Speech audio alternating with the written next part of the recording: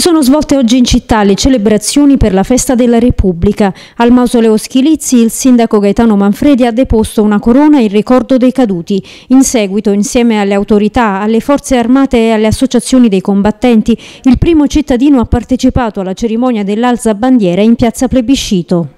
Oggi è un giorno importante il 2 giugno in un momento come questo, con tutte queste tensioni internazionali, la guerra in Ucraina,